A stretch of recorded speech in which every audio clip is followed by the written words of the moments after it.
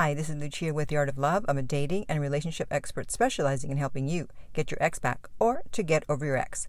This week, I want to discuss why, if you know about no contact and you don't get your ex back, most likely it's your fault.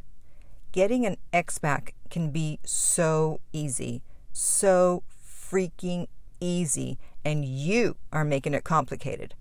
I've already walked that path for you through my own experience and the experience of my clients.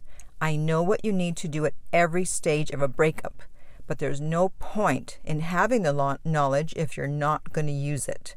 So stay tuned because I have a lot more to say on this topic. But first, I have to, of course, welcome back my beautiful no contact army. If you have not yet downloaded my app Silenzio to help you stay in no contact, then go to the link underneath every single video and podcast and download Silenzio.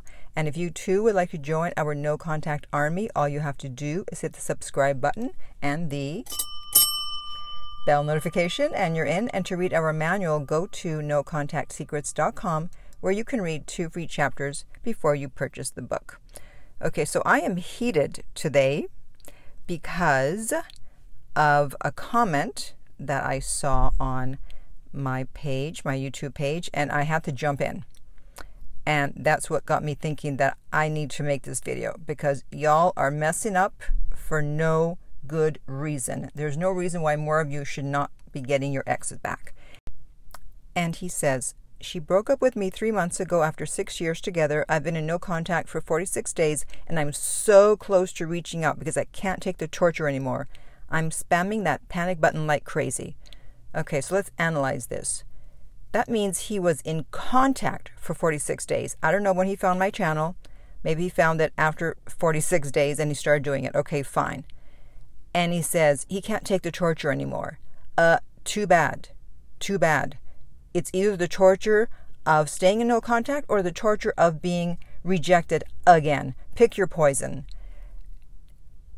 And if you can't take the torture, it's because of your anxiety. So hitting the panic button, he's referring to my app Silenzio, uh, is not going to fix that. If you have so much anxiety that you're hitting it every day, 10 times a day, 100 times a day, that's not what the panic button is for. It's supposed to be for once in a while, if you think you're about to break it, you hit the button. If you need to spam it, then you either need to be listening to my no contact playlist or you need to be in therapy because hitting the panic button on the app, I'm sorry, but if you're that far gone, no. So I had to jump in and tell him, please do not break no contact. And he said, okay, I'll listen because uh, I was this close to breaking. And I don't know how many videos of mine he's listened to, but I have said time and time again never, ever, ever break no contact between days 45 and 60 that is when you're most likely to hear from your ex. That is the absolutely worst time to break no contact. And it's also the time when your ex will be most, most anxious and you will be most anxious. Again, I've laid everything out. I told you what path you're going to be walking on as you go through no contact. It's not like, oh, Lucia didn't tell us about this. No, no, I know what you're going to be feeling and I know what you're going to be thinking. And that's why I'm telling you not to break no contact between days 45 and 60. I don't care if you're dying. Well, I do, but you know what I mean. I don't care if you can't eat. I don't care if you can't sleep. I don't care if you can't go to work. I don't care if you want to sleep all day. I don't care if you're crying all day. I don't care. Stay in no contact no matter what. Because what exactly do you think you're going to get by reaching out, especially between days 45 and 60? And in fact, that's what I asked him. I said, What do you think you were going to gain? And he goes, Well, honestly, an agreement to meet up and talk. And I said, The chances of that happening are slim to none. All of y'all think that you can talk your way back into a relationship. Guess what? You no longer have any power with that person. What? Now suddenly you're this great orator, you're this great debater, and you're going to be able to talk your ex into coming back? Did you have to talk them into dating you? No. So, what makes you think you can talk them into coming back, especially when you now have no power over them? The only power you have is no contact. And that's why you want to start it as soon as possible and stay in it. That's the only way you're going to get some power back. And you think, well, we just need to talk. They don't want to talk. If they wanted to talk, they would have reached out. Oh, but there's a misunderstanding. Well, even if there was, guess what? If they had a high interest level in you, they would have done everything to clear up that misunderstanding so they wouldn't have to break up with you. But they didn't. They chose to walk.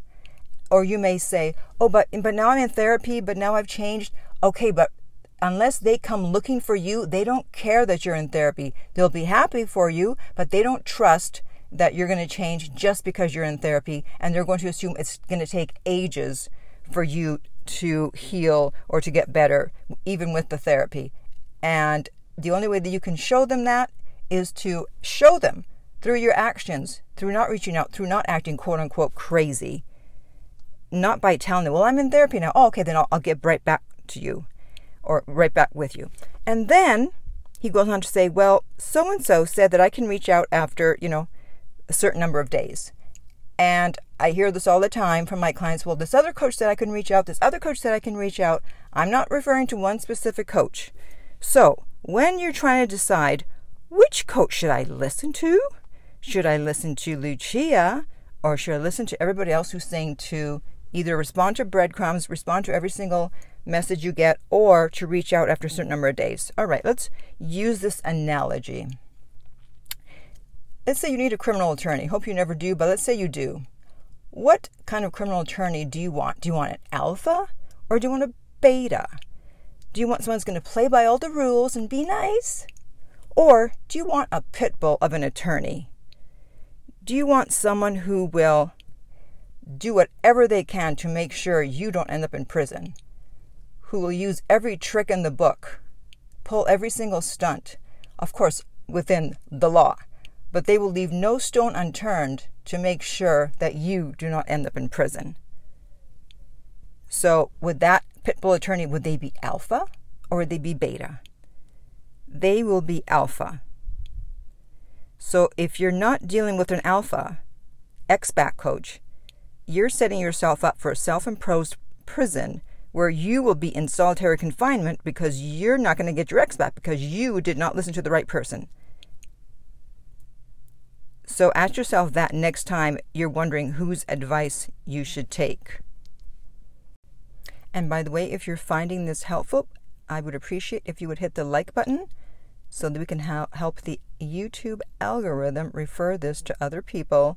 And yes, they too can hear me rant on about no contact and not getting in contact with your ex. So, you know, how many chances do you think you're going to have to do things correctly and get your ex back? You can't keep messing up and think that you'll still be able to get them back.